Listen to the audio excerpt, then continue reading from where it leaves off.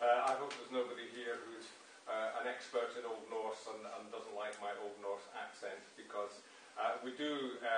I'm fortunate, really, that nobody's ever heard it, so um, it's fairly safe, really.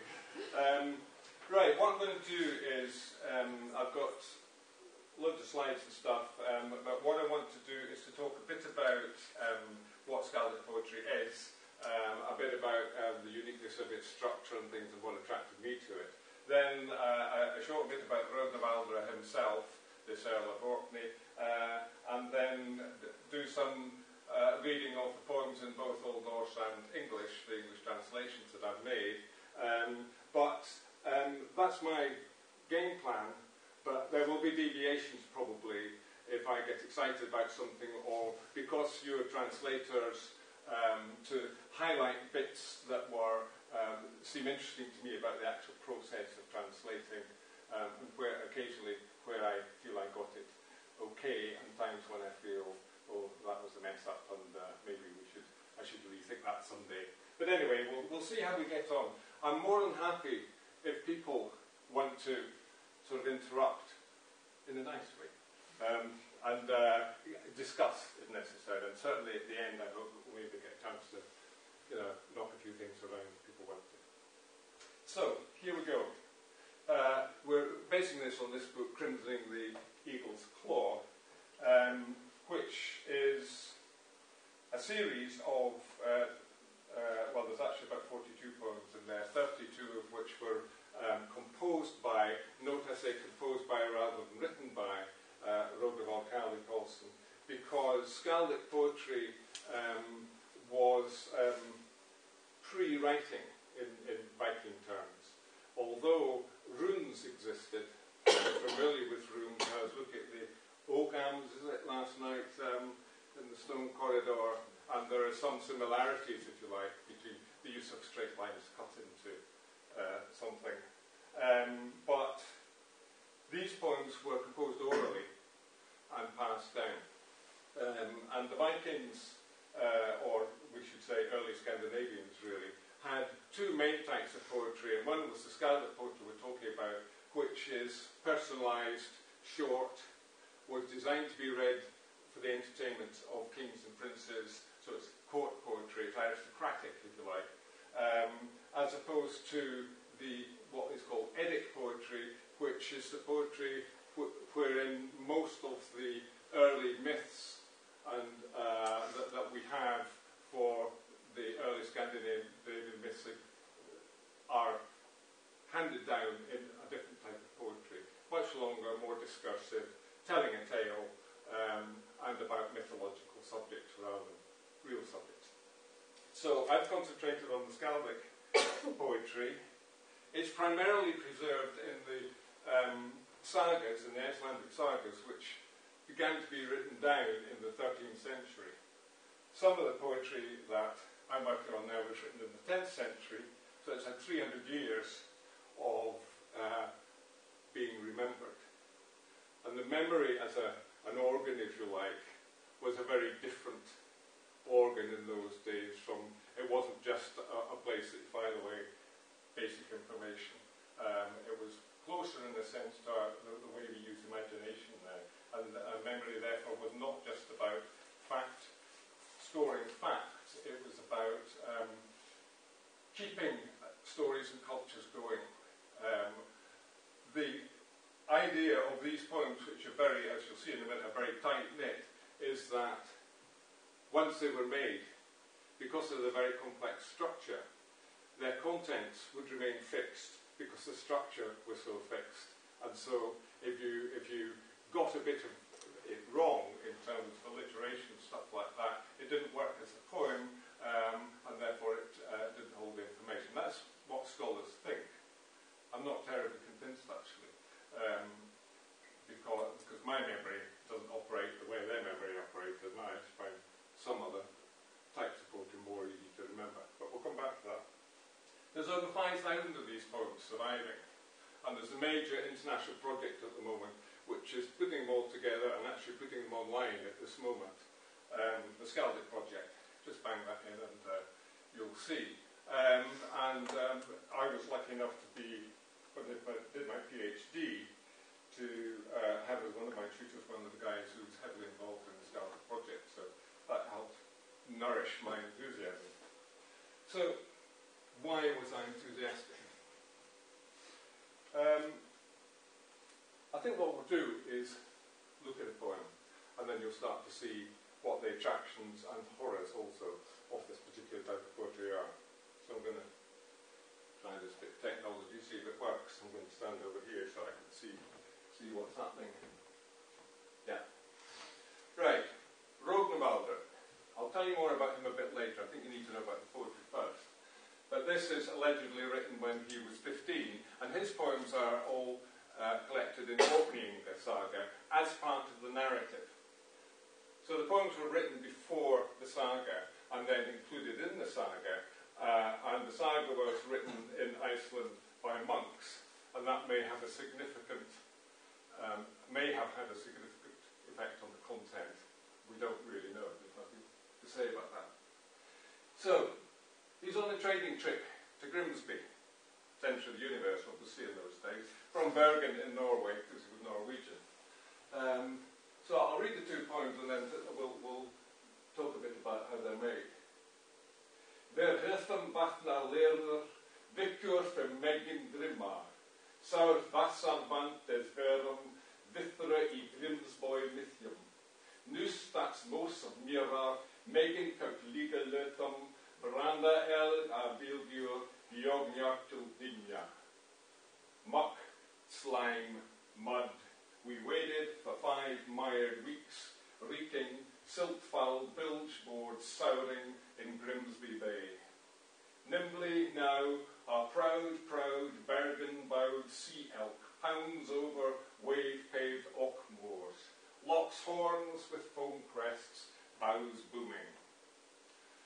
It's a very resonant type of poetry, as you can see all the Skaldic poems are made like this, eight lines, with six syllables, so there's 48 syllables to the stanza.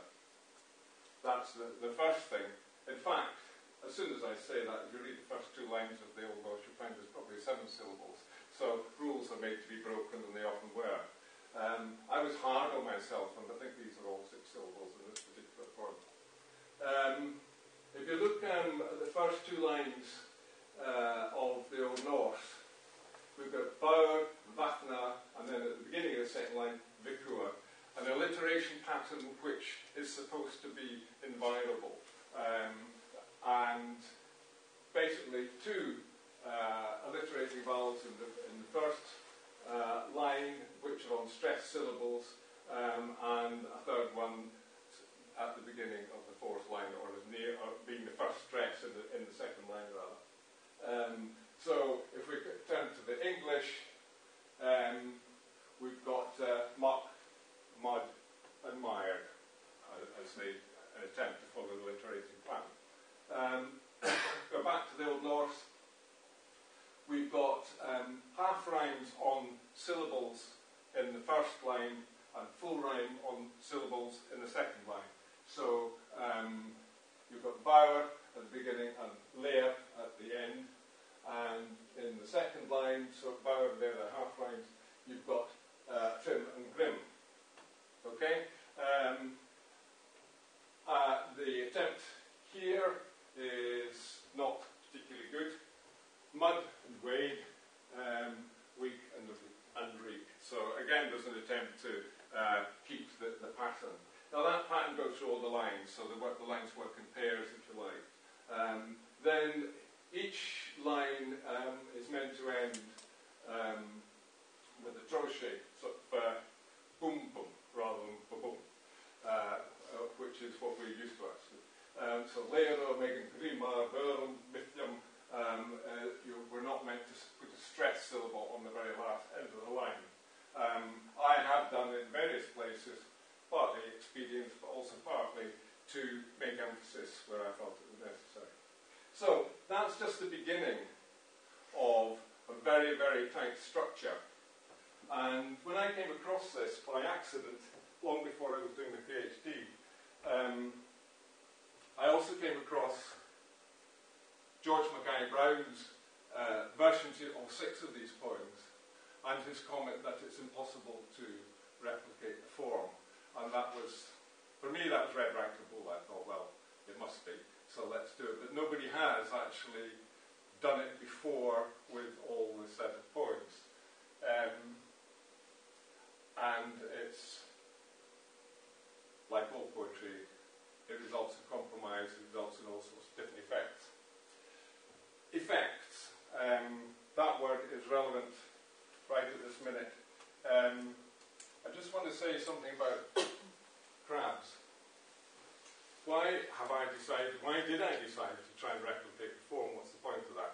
Um, my feeling was quite strongly that this, I, I term this exoskeletal poetry in the sense that its skeleton, i.e. the form that we've just discussed, is on the outside, uh, holding the content in, in exactly the same way as a crab. And if you take this crab and take his shell away and take away his claws, take the armour off his legs and stuff, you're left with this wee blob inside, which can be very tasty and very beautiful, but isn't very crab-like. And that's what I felt about many of the attempts I saw at people translating Skaldic poetry, and I wanted the crab back, because that gives a real sense of what was going on. That isn't something which I would then take and apply to all poetry, because not all poetry is exoskeletal. I've forgotten what the biological term is, perhaps someone could tell me for people like us who've got bones inside rather than outside. But you know what I'm getting at. Um, different types of poetry, different approaches when it comes to translation. Um, okay. Kennings. We're all familiar with Kennings up to a point. The Whale Road. Um, the, uh, the ship of the desert. We all know that that's the camel. Okay? Um, and there are lots of other modern ones we use just um, without thinking about like describing your car as a gas guzzler. Uh, Kennings in Old Norse took a particular form. There was always a noun. There was always two nouns, one of them in the genitive. Um, and then there is uh, the thing that they refer to. And the point was not to say the thing that is being referred to. And the, what happens then is you get a great layering of pictures which come together to um, give a much, which gives you much more of the experience of what's being talked about rather than the thought of what's being talked about. So, there are 255 kennings discovered so far for, for, for the sea in Old Norse. Now, obviously, this is a seafaring, seafaring people. So, Salt Meadow um, is a fairly obvious way, why that would be kenning. And oak moor this is quite typical, uh, and, and of the poem that we just read, in fact, in that they take disparate things, from the land and things from the sea, and put them together. Um, so the shift of the desert, again, is an example of that, where you're taking things which are not normally combined and combining them, and therefore making a third element. Because you've got the images, the dry land images, you've got the, the sea images, and you've got this third thing that they've just made. Um, the eel playing whale, oh, that, that, you, you can make them up yourself. It's great fun. Um, ship, fairly obvious ones. 89 of those we know about. Warriors, they're always talking about warriors and chopping each other to bits, and we'll come to that soon, but um, there, there, are lots of words for warriors. Uh, blade tree. The tree is often um, uh, a way of describing a man. And we'll see in another poem that they've got limbs, we've, got, we've all got limbs and trunks and ground sometimes, uh, and we stand up like, like a tree. So there, are, there is a logic to way these are put together. Um, woman, prop of embroidery. um, a prop is used a lot, and a prop is a, poetic term because it refers to the third element in the um, alliteration pattern is, is called the prop. It holds the rest up. Um, but it also um, describes something on which uh, uh, we, have got hawks somewhere there, a cliff of hawks. Why would a woman be a cliff of hawks? She walks around an aristocratic woman with a hawk on her arm. And hawks normally are on cliffs, so So on. Okay? So you're making pictures all the time, and you're putting these pictures together. So the poem becomes a much, a many-layered set of pictures rather than just one set, one image. How poetry works anyway, uh, up, to, up to point. So they are masters at these, there are, there are lots and lots of them, but you can, you can hold a whole class of getting people to make up new ones. Um, bearing in mind that you've got a noun, a second noun which is in the gender. so one describes the other, but they come together and make a third element. Everyone quite happy with that? Yeah. So we're going to hear a few more kennings as we go along, so you can have uh, a bit of fun trying to spot them as we uh, as we get there, or work out what they are. Rognvaldr. Now, I'm not going to read all this out because that's a bit silly, but it's just to tell you a bit about him. 12th century, first half of uh, the century. Um, he was Norwegian, aristocratic Norwegian. Um, his mother had connection with Orkney, and so did um, uh, her brother Magnus, who became Saint Canonized. And of when he succeeded to the earldom, did so uh, with lots of political shenanigans. And one of the things he promised to do was to build a cathedral. And Kirkwall Cathedral is still there. He founded it back in the 12th century, and indeed his remains are there, as are those of Magnus, his uncle. Um, and he's probably remembered most for the cathedral. But his poetry, one scholar has written that there's a strong argument to say that what he left us in terms of poetry is as strong an achievement and of lasting value as the cathedral is. And uh, which I think is a marvellous thing to say, and I think there's a lot of truth in it. This kind of poetry is, has kind of been lost to Europe, really. Very few people know about it, except in um, scholarly circles. Um, partly because um, Europe went down the, the, classical route, if you like, in terms of how it thinks about the world and how its literature is and, and where all its science came from, etc. And the northern religions and the northern ways of thinking and doing things gradually got uh, sidelined.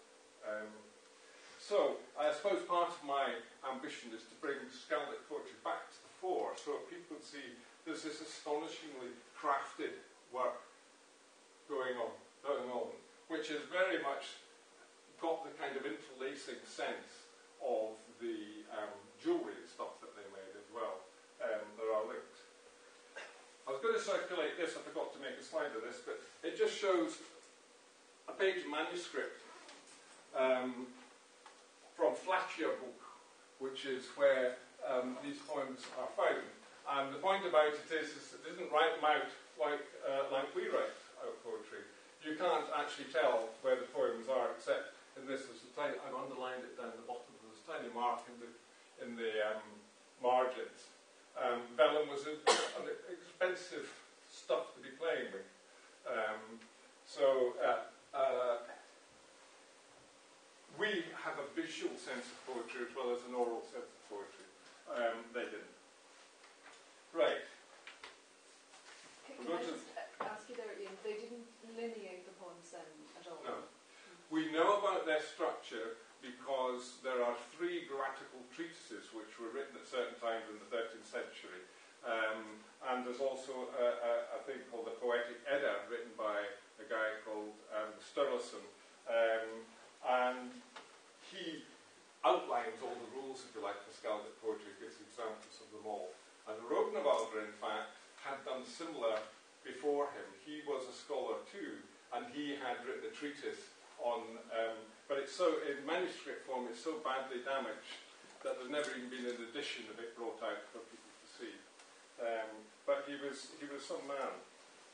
So we better go on to him. Um, this is just an illustration from the book, which is in sections. Um, right, an early bragging poem. A few things to say about this, but I'll, I'll read the poem first.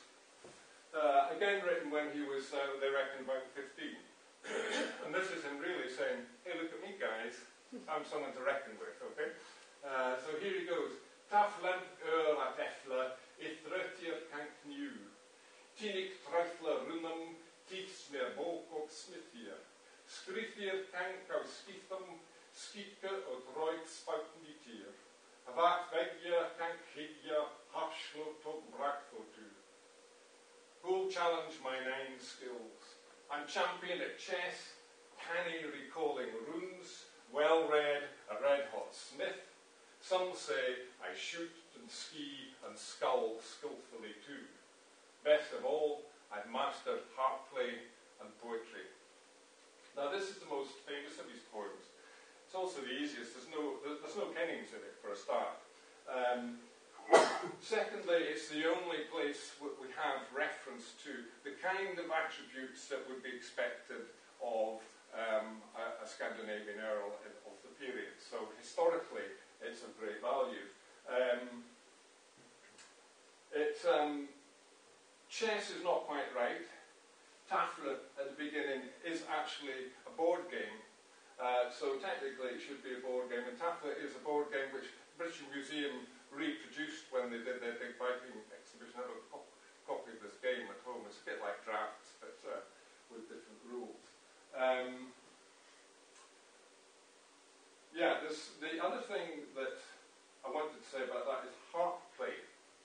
Um, it's one of the only two or three references that there are to musical instruments um, in the, the whole canon of Old Norse poetry, and there is almost no archaeological evidence of there having been musical instruments.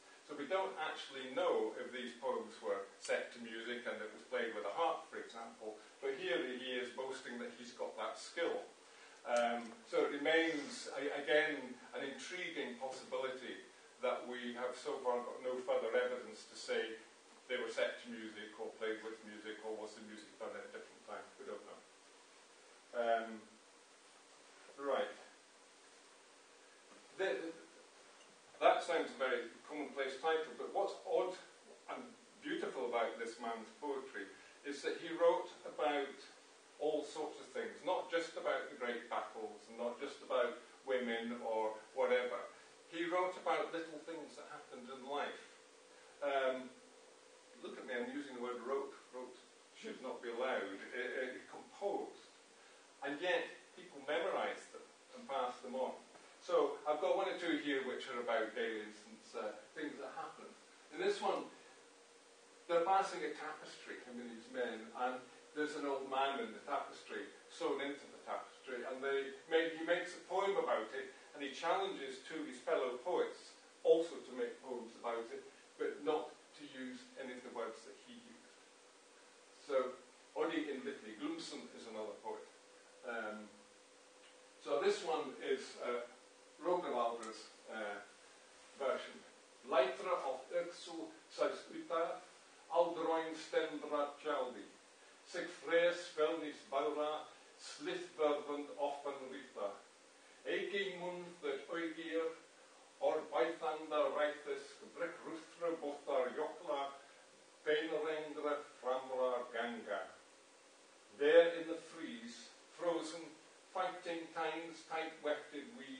stands old age, rigid, arm raised. His blades, needling, icicle gleams, shimmer in an arrow shower, braving Berserk's eyes. Move! old bandy still standing. Um, now, I, I took a liberty here and I made the figure old age. I think I was going through one of those days when I was feeling old age myself and what a battle it is, you know, so um, it came into the poem. Um, I've underlined the word raised because, um, well, let's look. This is what Oddi replied raised again. I failed the, cha the challenge and I used the word raised in both both versions. So um, ideally I would be changing that. Um, so Ori said, Stendra og hygre a hugva, hef illutra baldras vir dir a tjaldi. Fyrum mun han met hjörfi, hautra nys at saitisk, loindendra chlichtiska, kluns Outhra Gegra Se Unen. The sea-girt, steel-kirtled tapestry elf stands stoop-shouldered, sword raised boldly, war struck by the door. Men fear his swordsmanship. Make peace now, wave racers, heel skis, surf down rollers, or suffer injury. Uh, so we have two, two uh, poets writing about the same thing, and here we come up with uh, their, their, their differences. Okay? Right. A lunatic breaks his restraint and tries to topple Roterold. Now, why would a man whose position as Earl was fairly precarious, precarious in the sense that if you turn your back at the wrong time, you get stabbed. It was that kind of society at that time. Um, why did he write about this sort of stuff? Well, I think it's wonderful. Um, Feki, fylkis skikju, fangramlegra ötangi, rekra re harta knitja, hildingi fenmildum, stepra bastaula bjaki, stakka kbythu gram nöpet, afla hefra egja skilflir, orfandra fyr higjandi. Some fool let a felon, vice-fisted, rope-wristed, grip your Jarl's cloak, grapple the gift tree. Friends, swift to save him, say he stumbled, yet stood. The madman had brawn, not brain, our language brawled from his mouth, gall stained. The fastidious poet brawled from his mouth, you know. Um, gift tree, an earl, a, a, a great man was supposed to be a giver of goods. He was a gift tree. The mean ones got slagged off by, uh, by their retainers and, and lost retainers, and Rognvald was very good at. So he refers to himself as a gift tree, um, which again is, uh, they're not modest, the Skalds. Um, this one is the final one I wanted to look at because he is, he's been away for three years. He's come back, he left other people in charge, and there's dissent, and there's mutterings, and all the rest of it. Who does, these poems normally were read out to his mates, or public, or the whole court, or whatever.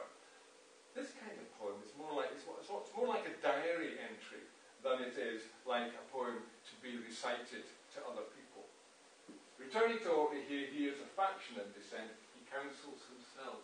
Nu hafe Göttingar gengit Götfjön estat jöna upp graffa skilvröth greppa oiret mörk ad sori. Out sori. Dat montegi sjapna them as spik bitra hema. Stigum leit au lagen leg methan up helskegi. Now even the noblest need watching. Trust's breeders embrace arch blasphemers. Even friends' oaths turn evil. Let them fear the slow flaring fuse of your cautiously stooped and lightly stepping stealth while your beard's healthy. Another way of saying while you're still alive. One of the great ironies that he died uh, in an attack and his face was slashed open and uh, part of his jaw knocked off. And so it's, it's a slightly sort of prophetic little sense in here, isn't there? Um, so, um, but that throws up an interesting point. If you look in the, um, the Old Norse, we've got leg there to rhyme with skeggy. Okay? The, very choice of this, this idea about the beard may well just be that he needed a rhyme for leg and skeggy, skeggy's beard, um, came up just as I need a rhyme for stealth and came up with help. Okay? And that's part of making poetry, isn't it? It's find, particularly if you're working to a form, it's, it's having to find the ways of saying um, which hold that form and which also give not just the idea, but give, um, how do I put this? It's a strong sense. While your beard's healthy is a lovely way, from my perspective, of saying quite a lot um, about life and death, really, in a sense. It's a, it's a wonderful way for a man of defining life while your beard's healthy, you know. Um, so, and, also it's about manhood, isn't it? A beard in the first place. Right, this is the stuff that you came for, really. What the Vikings do, they go charging around the seas, uh, attacking people. So here they are, in the Mediterranean. They are, by the way, on a pilgrimage to Jerusalem. Um, and they sailed from Norway um, all the way. Um, one of the interesting things is that the saga writer, describing the voyage and interspersing it with the uh, poems, uh, gets the geography wrong. He clearly knew names from the routes that were well known, but didn't couldn't picture them. Uh, and you'll see in another poem uh, the effect that has. But here they attack the dromond, which is a North African merchant ship, as it says there. He praises Erlingre and exults in the bloodshed and victory. Erlingre you'll meet again. He was brother-in-law of the King of Norway. Um, one of the great honours was to be remembered as a warrior, and particularly to be a warrior at the, at the front, the one who got on the enemy ship first, etc. So here we go. Erlingre gekk þars okkur, aug sterkre Rufus merki, freigre met fremte og sigri, fleimundre at drømandi. Løthum var en bita, vas bløth numet fjöthum, speth ruth, speth ruthus natlia fyrtha, snök blaumanna gathum. How our bloodstained standards stream. Erlingre, extreme in terror, blade bristler, the doomed dromond. Our spears cause suffering, spread Saracen gore. Red-drenched blades clinch bone boldly. We stack slain black sailors. Um, there's no holding back on, on the, um, the achievement, if you like, of slaughtering all the guys on the ship, which is what uh, we're told they did. And this is another one uh, from the same action except this is in praise of Audun the Red, um, who is deemed to be first aboard the African crude dromond. Now, the interesting thing about this is that the attack actually, we're told, took place with six ships, six Viking um, galleys, three on each side. So it'd be impossible for any one of the Vikings to know who was first on the ship because they couldn't see the ones around the other side. Um, but here we have Audun being praised for being the first. And what the saga tells us is that after the battle, when they sat discussing it, they couldn't agree who'd been the first. Um, so Rognvald, as the chief guy, said, well, I think it was Audun, so it is Audun. And that's how history is made. We still have that as the historical version, if you like, this encapsulated. And Audun still has the honour of being remembered, um, whereas X doesn't. You know, so um, history is always a compromise. The winners always choose it, obviously, but in this case, the leaders decide what will be um, fact and what is fiction, and not much has changed, really, has it? Um, Gek uit drömmen dukvan, drengre red snart til fengjar. Op met ornu kappi, authun fiestere en rugby. Daar nuthi werd jurtha, vi hefra aldar gotvaldet. Bolre fekler blara, thilje, Lurthy Böchner at Vlutha. Heart beat for Finn. Claiming all hell-bent on bounty, he reddened the dromond. Christ, irresistible, his cause as the kisses of blood-lipped blades leads us. Black trunks deck the soaked boards. Now, a few things about this translation, because I've been a bit naughty in it. Um, Firstly, you'll see that Christ isn't actually mentioned in here. He is mentioned as God says. But why have I used Christ? Because of the, in, the rhyme with irresistible, right? Why have I used irresistible? I have to confess that I love the idea of having a five-syllable word in a six-syllable line. Uh, so, so there it is. Um, also, and then that led to tampering with the last line, because having done that, black trunks deck the soap board, bang, bang, bang, bang, bang, body's falling down, right? Um, but with contrast with the, the rhythm here, it just all seemed um, to work quite well, without going too far, by the way, from the, what actually is said in the Old, no- in the old Norse. Um, ask, uh, is it okay to ask a, a question just about your? I was just wondering the, the, the different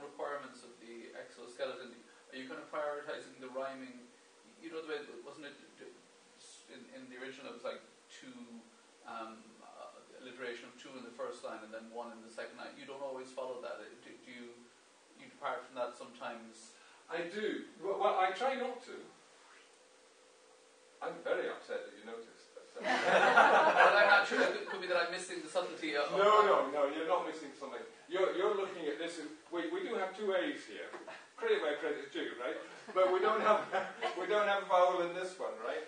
Now, I, this is where another confession has to come in, and this goes. I don't know how far back this goes in, in, in my development as some, somebody who is supposed to know something about literature. But I had always understood that H was allowed to be a vowel when you were doing alliteration. So, here it is. but I'm wrong. Okay? So, um, but I think it works quite well, so it's staying. that's, that's what it comes down to in the end. That I, I, I have been quite tight, but not as. Um, uh, if you go for the, the, the complete straitjacket, um, you, you, are completely straitjacketed. you see what I mean? Um, so, yeah, but I think you should take the, a black mark there for me. That's quite right. You explain a I, I think I, I am missing when you talk about vowels, like it, it, seems to be with, with the you know uh, with the consonants, but but I, so is, is, the alliteration a mixture of vowels and consonants? No, alliter- vowels alliterate with each other. So an, an A can alliterate. A E I O U are alliterative uh, in Old Norse and in English, in fact. So, so you're not quite often you seem to have say two you know blood blades black yes. boards. That's not the two one. It, is, it the, it's not the consonants. It's the vowels what? No, it's, it's, both. It's both. It's you both. need both.